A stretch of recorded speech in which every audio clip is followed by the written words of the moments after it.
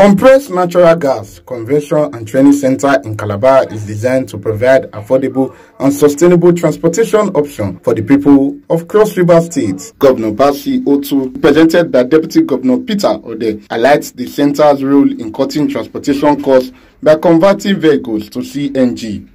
This facility marks a significant milestone in our journey towards a more sustainable and affordable transportation system for our dear state.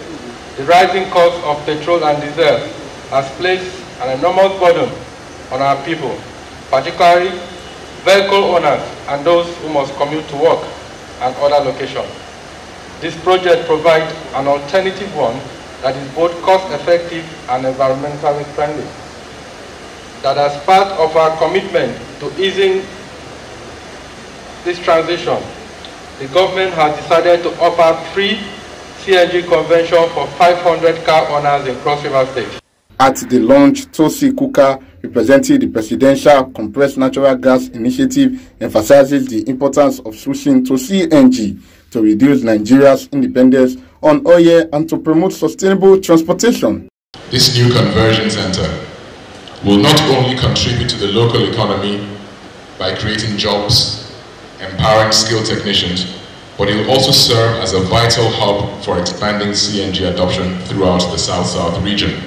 Press Natural Gas Initiative was designed with a singular goal in mind, to reduce Nigeria's dependence on petrol and diesel by providing cleaner, cheaper, more, uh, more affordable energy solutions specifically through the conversion of vehicles to compressed natural gas. Olunda Amola Akindu Lere, chairman of the board of Blowstone Gas and Power Limited, says the facility can convert up to 40 vehicles daily. The center represents a critical step forward.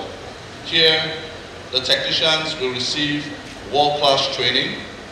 Vehicles will be converted and will run on cleaner, cheaper, and compressed natural gas and by converting our vehicles to run on CNG, we are not only going to reduce the cost of transportation, we will also bring down the cost of goods and services. The center will also train up to 100 technicians simultaneously, providing them with the skills needed for the transition to cleaner energy in the transportation sector. Osarogi Agwebo, reporting for BTV News.